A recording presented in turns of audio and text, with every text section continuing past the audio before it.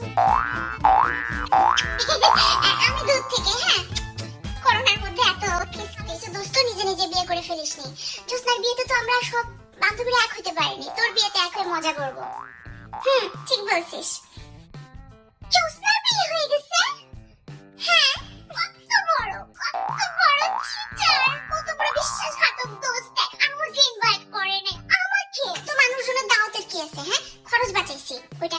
দিছি হানিমুনে যাব করোনা ভাইরাসের ঝামেলা গেলে। তোদের সাথে আমার রিলেশন না। দোস্ত দোস্ত, যা শুন, শোন। আমি ইন্ডিয়া যে অনেক শপিং করছি, অনেক অনেক অনেক শপিং করছি, অনেক। তোদের জন্য করছিলাম। কি কিনছিস দোস্ত? কি কিনছিস? মর্জিনা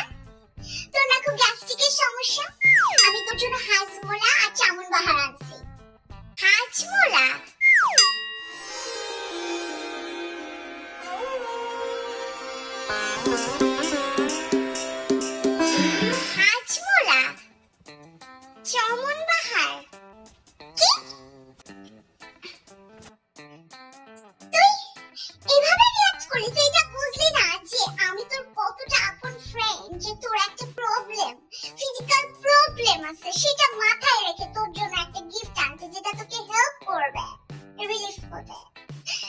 আসলে না, তোর বন্ধুদের মানেই বুঝিস না।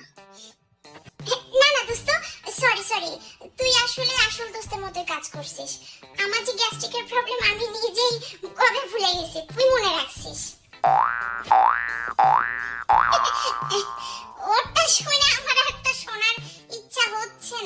তবু বল দেখি আমার জন্য কি আনছিস? আর তোর জন্য তো আনাই উচিত হয় না তবু আনছি।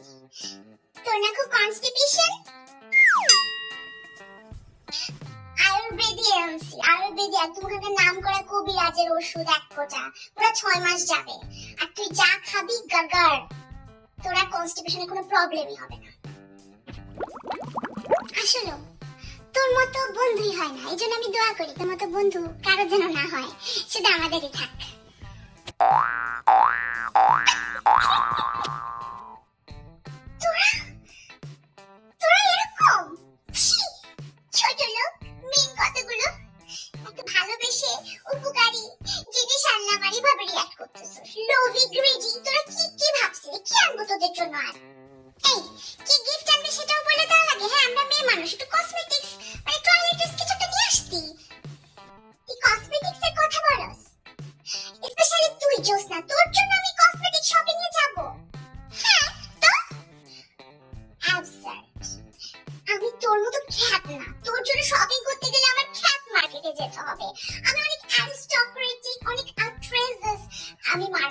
শপিং করছি যেগুলো আমার জন্য আমার স্ট্যান্ডার্ড তোর জন্য কিছু কিছু খুঁজতে হলে লাল রঙের খুঁজতে হবে। লাল লিপস্টিক লাল কানের দুল এত লাল লাল লালু মার্কা শপিং আমার দ্বারা হবে না। হুঁ, শোন লাগবে না তোর মতো বন্ধুর শপিং দেখছস? এই দেখ প্রতিদিন এক এক বেলা এক একটা কানের দুল পরি। কে কিনেছে জানিস? আমার জানা মান আমার হাজবেন্ড তোদের মতো ফ্রেন্ডের কাছে আমার কিছু দরকার নেই। হুম। শোন সরি গিফটে এমন হাসি আসছে আর আমার জন্য না আনলি আই ডোন্ট কেয়ার মর্জিনার জন্য তো কিছু একটা নিয়ে আসতে পারতি। কিন্তু অবশ্য ঠিক অ্যাটলিস্ট মর্জিনার জন্য কোনো কসমেটিক্স কিছু একটা আনা উচিত ছিল। আচ্ছা দোস্ত, তুই না দিলেও সমস্যা নাই।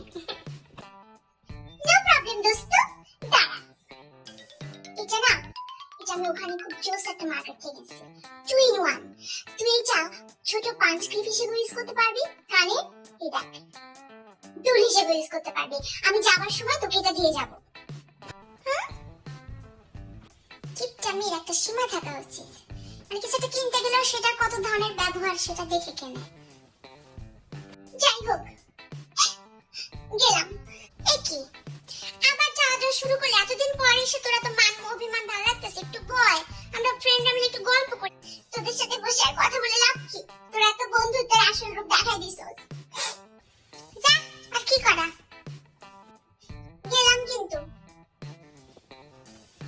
যা। আচ্ছা তুই এরকম করতেছিস কেন? বয় না। আল্লাহ হাফেজ। চলে যাবে।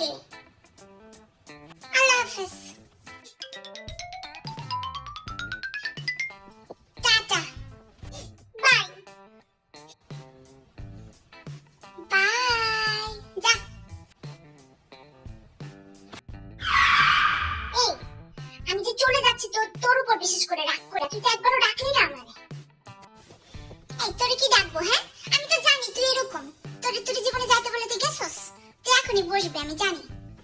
তোর আসলে গালটাই বড়, মনটা বড় না, মনটা অনেক ছোট। ছোট লোক কথাটা দোস্ত প্লিজ প্লিজ প্লিজ দোস্ত লাভ ইউ দোস্ত বয় আয়। কতদিন পর আসছিস বল তো বয় না প্লিজ তুই চাস না আমি চলে যাই? কিন্তু তোর এই মনে আসা ফোন করব না। আমি যাব না। এই যে আমি বসলাম। বলছিলাম না?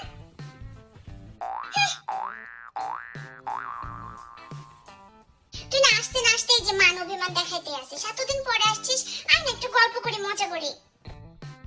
এই ও যে বিয়ে করছে কই? জামাই কই? দুলাভাইকে দেখব না? ভাইয়া আছে, একটু বাইরে গেছে, এখনই আসবে, তুই বয়।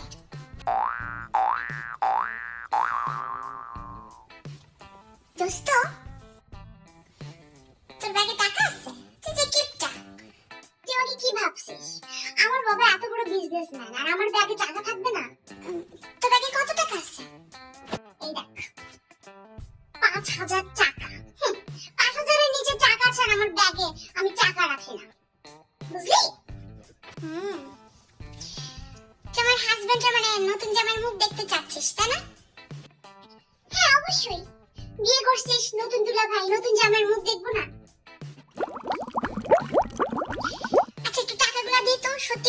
নাকি গুনে দেখি? দে। তোর টাকা ধরতে হবে কেন? আচ্ছা যা, তুই তো একসাথে পাঁচ হাজার টাকা কোনো দেখোস নাই, ধর। ধরে দেখ গুণ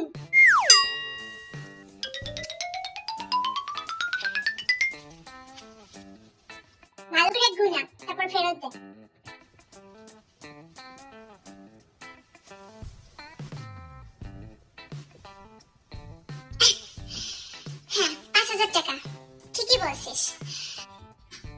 এই যে টাকাটা আমার। কারণ তুই নতুন জামার মুখ দেখবি না? নতুন জামার মুখ দেখে তো কিছু দাও লাগে, তাই না? তো জ্যোৎস্নার জামাই বলে কথা। তো আসতেছে এক মিনিটের মধ্যে। মুখ দেখে তুই যে টাকাটা তোর হাতে দিবি, আমি আগে আগে নিয়ে নিলাম।